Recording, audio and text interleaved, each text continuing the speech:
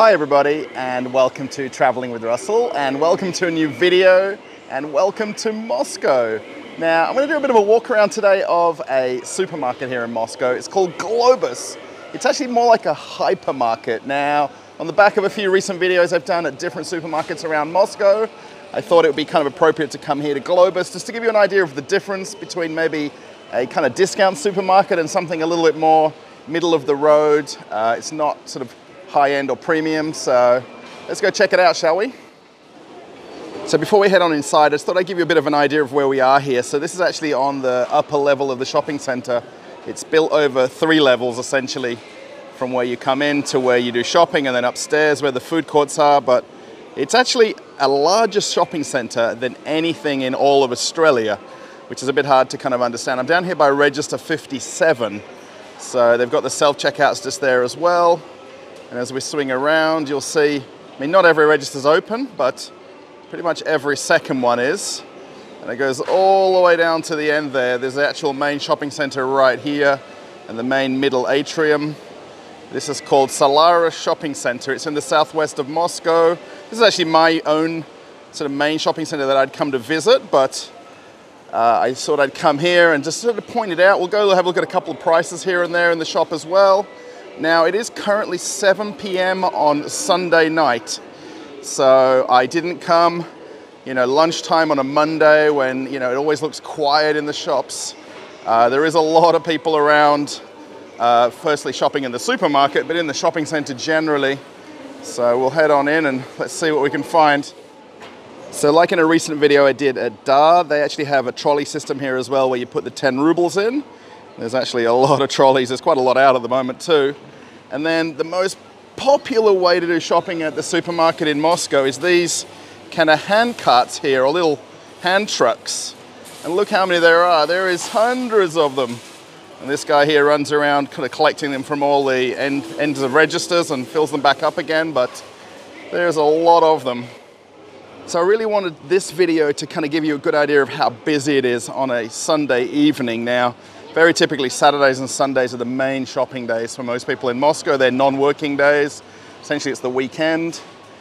There's some ready to eat meals here. These are mostly all the salads.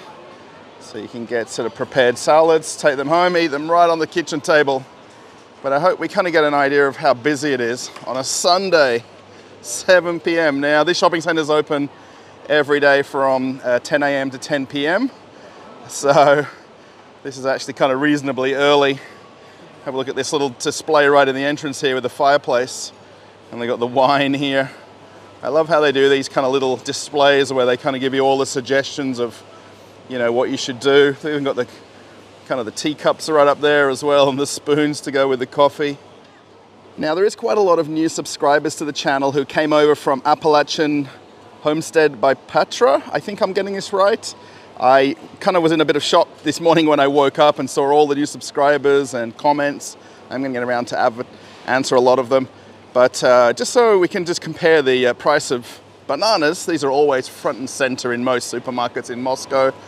So these are by the kilo, okay? So just keep that in mind. So for a lot of people in America, they go by pounds. It's around about, I think it's about two pounds to a kilo, but 62 rubles for bananas. And then we've also got kiwi fruit. Kiwi fruit here as well.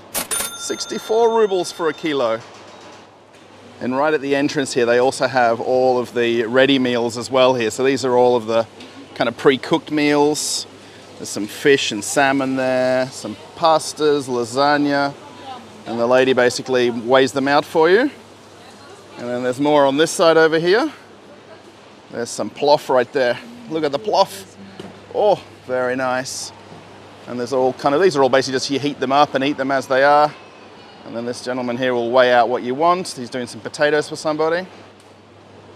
So fruit and vegetables are always front and center pretty much in any supermarket anywhere in the world. I don't think there's anywhere you'll ever go where it's not right at the front.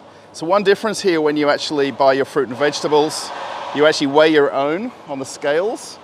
Let's hopefully these ladies will do this and show us. So you kind of put on what you've chosen right there. And there's a lady there, she puts the bag on. And even if you just want one, you just put the orange, press the button, it weighs it out and you get a sticker and off you go. Now this supermarket isn't necessarily the cheapest one in Moscow. It's got a huge selection. It's got a lot of choices.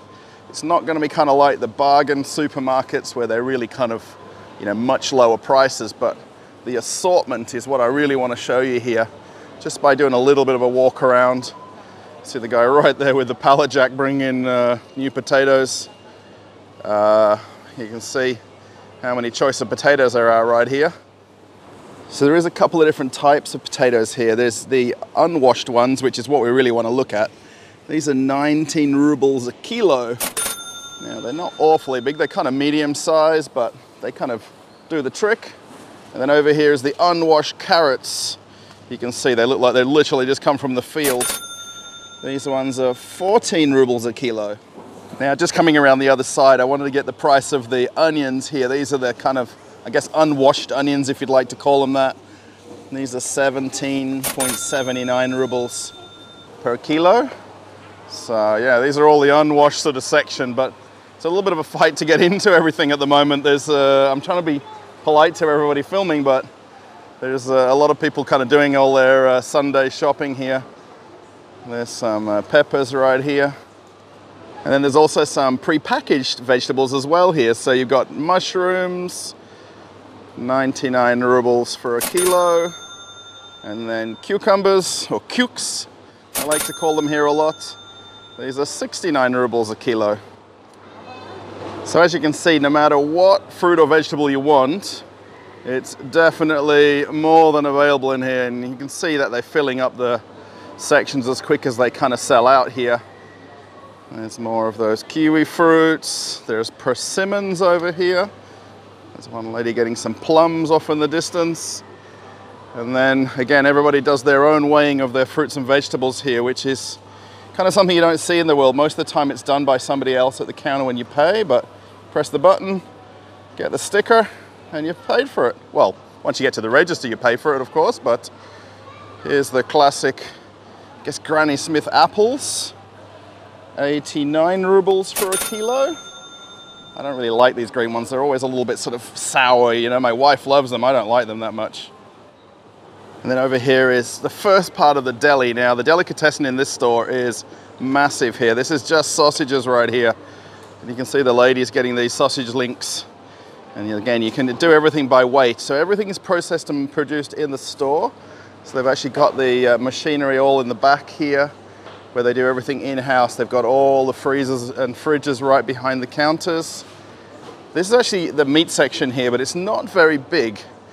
Typically, a lot of people go to butchers where they live or closer to where they live than coming here. Of course, there's a bit of a line here for the meat tonight, but I know for us, we don't tend to buy meat here.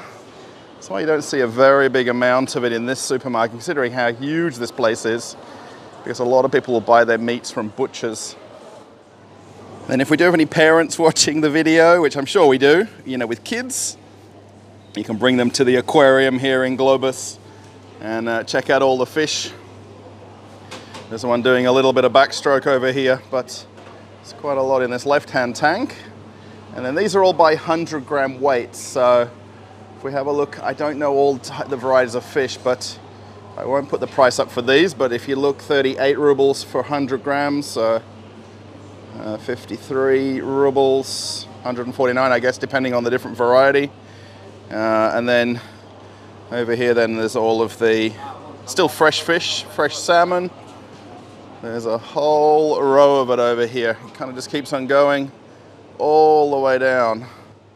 Now I don't think we're in Russia if we don't have caviar in the shopping center or in the supermarket. So there's a whole lot of different choices of this too. Uh, it varies considerably in price. The smallest ones over here, 500 rubles. And these are all canned ones and sort of pre-packaged ones. And then over here, I'm going to show you the kind of the top dog in the fridge right here. 15,599 here for this one. This is a, also, you'll see these are in the anti-theft cases. Obviously, they do that anywhere in the world. So yeah, there's a lot of different types.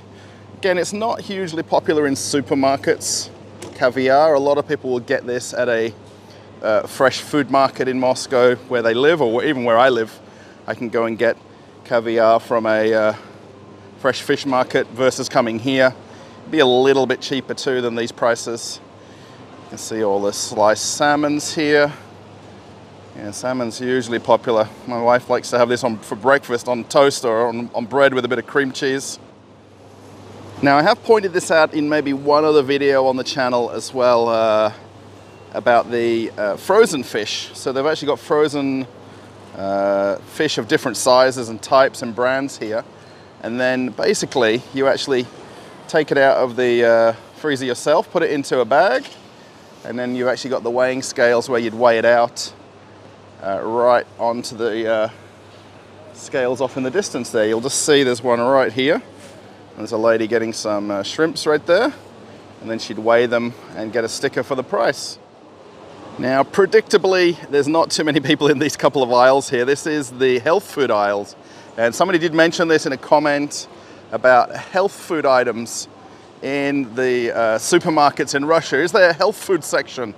And there is. It's not very, very uh, popular, I guess. It's not very busy, but definitely there is health food items in Russia in supermarkets. Look, there's not even a person in here. Now through the middle of the supermarket here, they've got all the different promotions and specials and whatever's the uh, kind of weekly special. Here is the Heinz ketchup or tomato sauce. So it's 74 rubles 99 for one package. Now, does anybody know on the bottled or glass bottled Heinz, they've got the 57 on their 57 varieties. Now in Russia, I'm pretty sure that we've got about 15 or 20 of them of different varieties. Uh, a lot of people like to use these on barbecues, like when you're eating sort of meats. I just noticed one here, I'm not sure. It's a limited edition one here. So yeah, with tomatoes right on the front there. So yeah, there's a, a lot of different varieties. Actually, there's the 57 right there at the bottom. So anyone's ever seen the 57 varieties or haven't seen them, I think they're right here in Russia. And then plenty of pastas. There's the whole aisle here of pastas. Now, the only thing that really bothers me when I come to buy pasta in Russia is they've got all the pastas in one aisle and the actual pasta sauces are nowhere near this same aisle. So you come to buy your pasta over here, then you spend about another five or 10 minutes going up and down the aisles looking for all of the sauces that you're gonna make your pasta or spaghetti with and things like that. Here you can see one of the brands here. These are the small little elbow pastas. This is 84 rubles for 450 grams. Here is the long life milks. Actually, uh, in Australia, we would actually have a lot of long life milk. My wife and I, that was pretty much normal that we'd have in our house. There's kind of one of the home brand ones here for 79 rubles. These are for one liter containers. This one's actually got 970 mils. This is how they're sort of starting to do it now, right? They take a few milliliters out. 73.99. So yeah, if you want long life milk. And these are basically the house eggs for this supermarket here. They're 92.99 rubles. So the eggs in Russia are in a package of 10, by the way, not 12. So if that's a factor, if you're working out the price differences, I don't know why they don't have dozen eggs in Russia, but it's just how it is. And as we swing around over here, this kind of entire, I guess about three quarters of the shelf is all mayonnaise. Look how many types of mayonnaise you have. It just goes on and on. And there's actually some refrigerated eggs tied on the end there as well, but a lot of different flavors of mayonnaise. And then if my mum was here in Moscow, this would be her favorite section here with all the salamis and all the cured meats.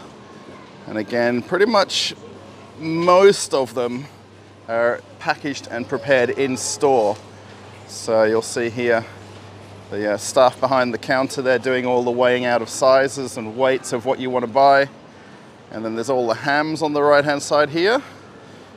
Now I'm not going to show the entire store because it just goes on and on and on, but I just want to focus on a few different things uh, particularly. But after all the different deli hams. It goes then into cheeses. And these are all the packaged cheeses right here. And they've actually got little country flags on them so you can see all of the countries. Russia, Switzerland. So yeah, we can still get Swiss cheese in Russia. No problems at all. Now I'm not very good with all my country flags, but I'm pretty sure that's Argentina right there. And then I think this one is Belarus. And of course, there's quite a few other Russian cheeses looking all the way back down the uh, shelf here.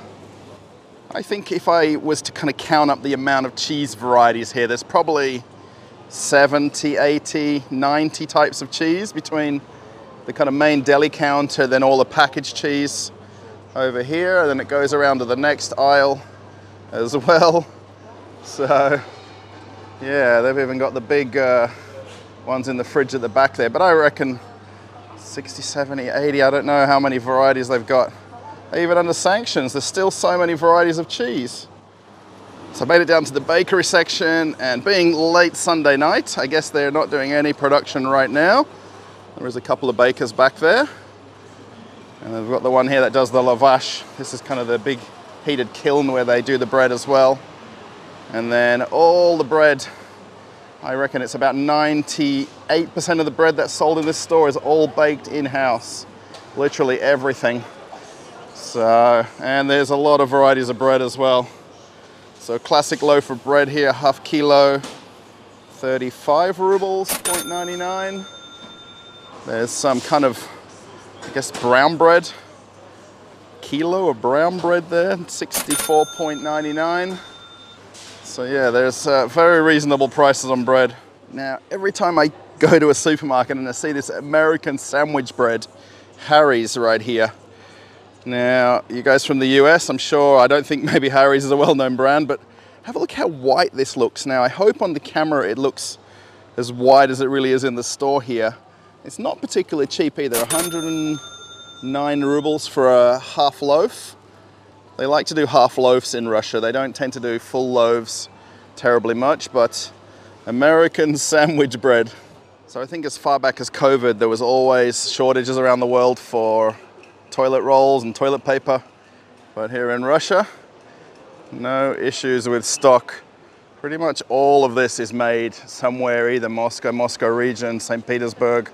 So it's all readily available in Russia. So we'll just have a look here at a couple of different types. they do even have Kleenex here, which I never, we don't buy the Kleenex one personally. We buy this Zewa right here.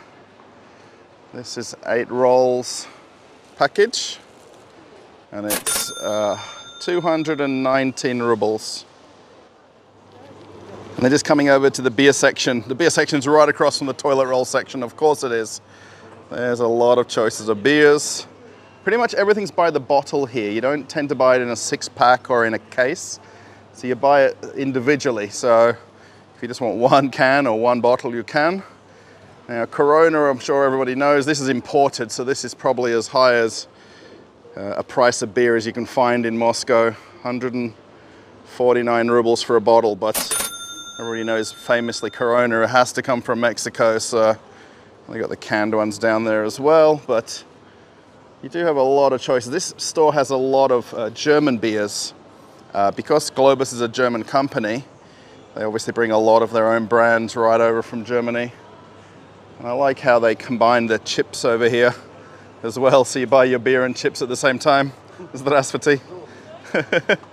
and then there's the boutique beers as well. So if you want something a little bit fancier, there's lots of choices. Now I do kind of hope this video doesn't end up getting too long and you are uh, kind of happy watching it. Uh, it is actually a little bit longer if I kind of point out more products in the video and show all the prices. So as I head down the cool drink and chip aisle now, I'm gonna go have a look at the sodas and see what they have. So maybe they've got some Coca-Cola. I wonder if they've got any Coca-Cola in here. Now looking at this section, you'd almost think that you're looking at Coca-Cola, but it's everything but Coca-Cola. There is Cool Cola, there's Chernogolovka Cola, there's Bella Cola. This is the Coca-Cola from Belarus, Bella Cola. Uh, there's PV Cola. Now, I think it's not RC Cola they've got in America. They've got PV Cola here. And then just moving down to the others, no Fanta, we've got Fancy, And then there's the uh, which is kind of like a lemon lime. And then Pepsi has done something a little bit interesting. So Pepsi we, we know has left the market in Russia, but Eves is essentially the same product. So if we actually have a look on the back of the packaging over here, uh, right here, you'll see PepsiCo. So this would actually be the Mirinda right there. 89 rubles for a bottle. So if anyone is following the news about all these brands that have left Russia, so the Coca-Cola brand, that's left Russia.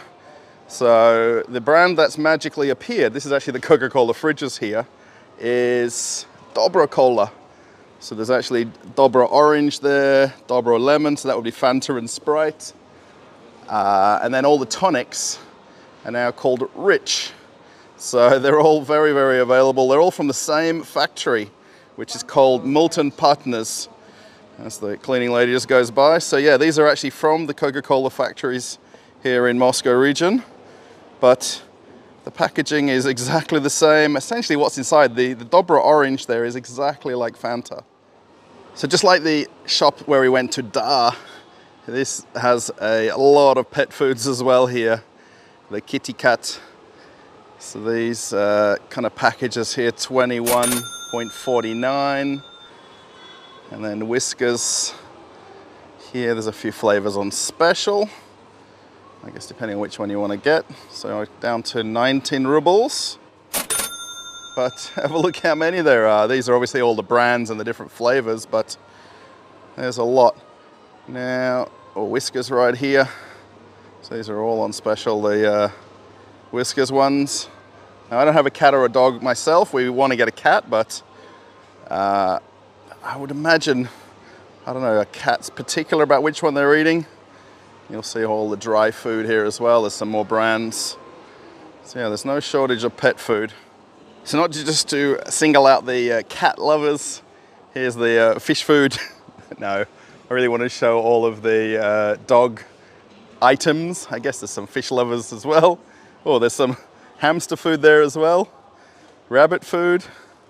Oh my gosh, I didn't realize. Oh, here's all the bird food, or bird seed. And then all of the uh, food for dogs here, all the biscuits, pedigree, definitely in Russia. Lots and lots of it. Now, I really don't know pricing of these. So this is 2.2 kilos, 537 rubles. I don't know if that sounds expensive. I guess I'll put the price up on the screen and you can figure it out. But yeah, the entire aisle here of uh, dog foods. And there's kind of even like gourmet ones here in these little cans. There isn't the kind of traditional cans as much in Russia that you'd see in uh, Walmart or in Australia in Coles and Woolies, Asda in England. Now I think in Appalachian Homestead Petra's video, she pointed out the kitty litter, I think, if I'm mistaken. I did watch the entire video and three kilo bag, is that about six pounds or so, is 96 rubles for three kilos. So just looking at the rest of the variety section here, there's uh, pretty much anything for your house. So there's the car section. Here's the stuff for your uh, kitchen, for your home small appliances. There's mostly just things like kettles and toasters and things like that here. Uh, they don't have any white goods at all, but there's also the gardening section off in the distance. And as we wrap back around, there's a clothing area. And all the winter boots are starting to come out now, the winter jackets. You'll see quite a few different types here. Not very, very popular in here. We're in a massive shopping center here with about 250 stores, so I'm pretty sure most people aren't going to come to Globus to get their shoes and jackets, but they definitely have some. So my wife's favorite area of this supermarket here is the cleaning section. And here's all of the laundry powders and liquids right here. And then all the stuff for your kitchen. There's the handy wipes there and the sponges. And then fairy dishwashing liquid. Now, I tend to buy the Fairy dishwashing liquid a lot because I do the dishes at home. And this is the kind of bottle that we tend to buy. It's 900 milliliters for 199 rubles. Now I know this has gone up in price over the last six or eight months. Maybe there's a certain ingredient in there that's not commonly available in Russia. It's kind of put the price up and there's all of the kind of room sprays and things like that and smellies. So just walking on a little bit further here, you can see the amount of people here for Sunday night. Now, I did point this out in the other video and people still keep questioning me about these small baskets.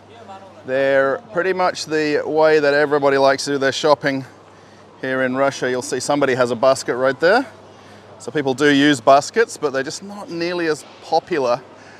A lot of people won't drive to the shopping center. They'll come by public transport. So the metro uh, and bus station is right here as well. Here's all the, uh, uh, the hygiene products for men's and ladies right here. So yeah, you'll see these baskets are kind of everywhere. And a lot of people will just basically buy one or two bags worth of things. They won't necessarily do like a big shop because they've got to catch public transport home. Here is all the toothpaste and toothbrushes. So a fairly classic tube of Colgate, 101.99 rubles. So probably this store doesn't look as tidy as what Dar did, but it's very well stocked. It has a lot of products. I just think they, uh, they concentrate a whole lot more here on just refilling and getting stuff out. Maybe not necessarily on the kind of perfection and look of the store. Here's all of the uh, pickled vegetables. See all the gherkins and different uh, uh, vegetables that are pickled. So the one thing that isn't nearly as popular in Russia too is frozen foods. There is so much fresh foods that you don't really need to buy frozen food too much. There is literally two aisles of it here. These are about three quarter length aisles. Uh, a good amount of it is actually taken up by pelmeni, which is the, the uh, dumplings with meats in there. And then actually on the other side of this aisle is all of the ice creams. Obviously with colder weather coming on now, not nearly as possible, uh, as popular, but uh, you'll see there's not that many people in the frozen section. Okay everybody, so I, I really want to thank everybody for watching this video. It's kind of a bit of a follow-up to the Dar supermarket video, but it's a little bit of a more upscale kind of supermarket, kind of a middle middle income, I guess, sort of supermarket. I mean, a lot of people shop here no matter what their income is and salary is, but maybe a tiny bit higher prices. Uh, not very high, but yeah, I hope you like this. If you did, give it a thumbs up. Uh, post a comment, let me know what you think. Uh, just comparing maybe the two supermarkets or what your supermarket's like at home. Uh, you know, this isn't perfect, tidy like the Dar was, but you know, this is a high turnover supermarket, so there's a lot of people shopping here literally you can see that walking around so yeah if you uh, new to the channel thank you for watching uh, this next video. Uh, there's a lot of new subscribers uh, from Appalachian Homestead Petra. Thank you. I need to write you another comment to thank you for sending everybody over to watch one of my videos. Uh, it's really nice of you to do that and to mention me in one of your videos too. I was a little bit shocked when I watched it so thanks. Okay everybody I put another video for you to watch right here. Maybe you want to catch another video on the channel right after this. So yeah, see you later everybody. Bye.